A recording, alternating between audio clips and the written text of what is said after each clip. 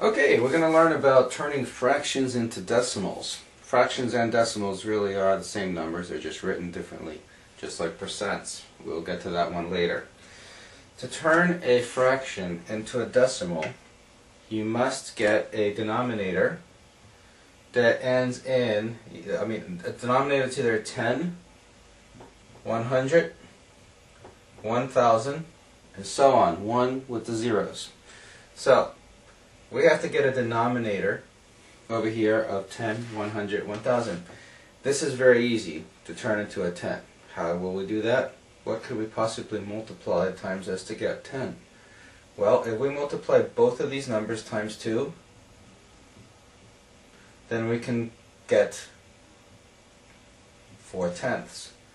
The main rule you have to remember when working with fractions is that whatever you do to the bottom, you do to the top. So if you're going to multiply the bottom times 2, you have to do the same with the top.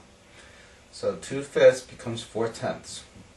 Now, another thing that you're going to need in order to be able to turn fractions into decimals is you're going to need to know your place value when it comes to decimals.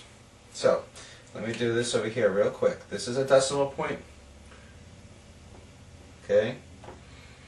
Now, Everybody here is used to regular place values, ones, tens, hundreds.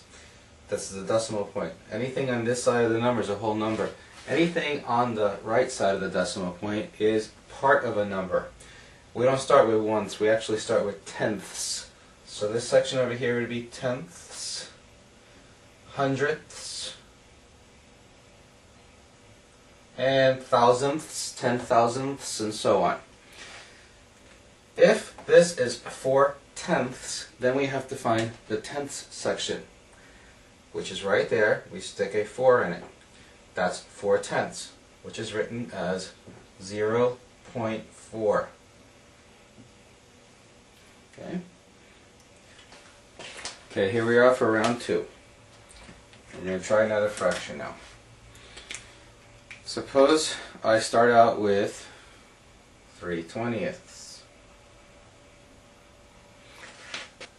We need to come up with a denominator of 10, 100, 1,000, and so on.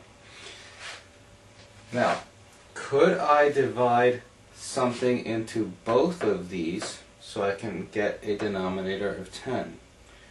Well, if I divide 20 by 2, I can get 10, but I can't divide 3 by 2. So I can't divide. I have to multiply. I have to go bigger. So we want to find a denominator, obviously we're going bigger, we're going to try to get a denominator of 100. What can I multiply times 20 to get 100? Well, for those of you who are not very good with your multiplications yet, just count by 20s, you hold up your fingers, count by 20s until you get to 100. See how many fingers you use. Got 20, 40, 60, 80, 100. I use five fingers. That means I multiplied five times.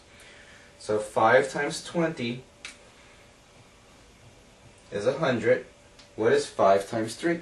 5 times 3 is 15. Now we have 15 hundredths. So if you say it properly, you should be able to figure out how to write it as decimal. 15 hundredths. Okay, this first place value after the decimal, that's tenths. This is hundredths. That means that the last number has to be written in there, which will come out to 0.15. Because that's tenths, that's hundredths, 15 hundredths. Okay? Now, I'm going to show you one last technique. If you know how to do division, uh, like the long division style, there's another way to find uh, to, to, transfer them into uh, decimals. So here we go.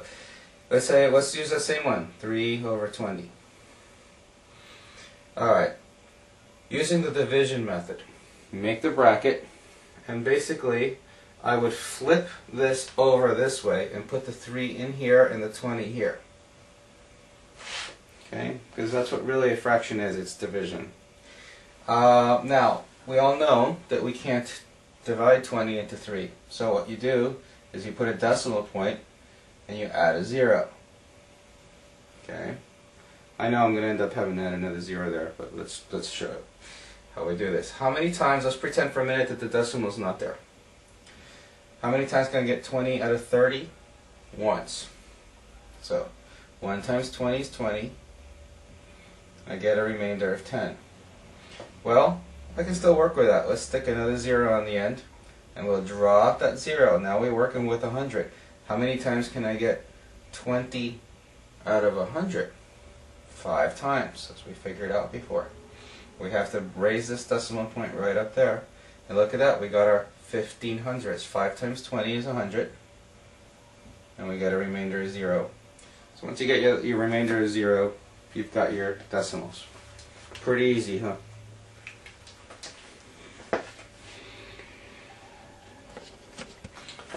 Okay, we're going to try another example.